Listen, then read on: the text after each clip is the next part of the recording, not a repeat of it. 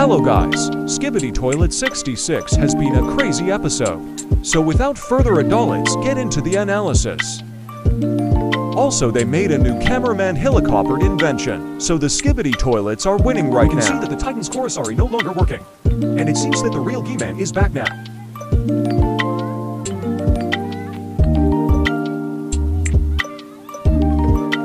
Also right here is the agent, Tetherite.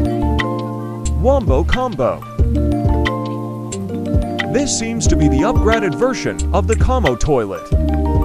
This is what the TV man say.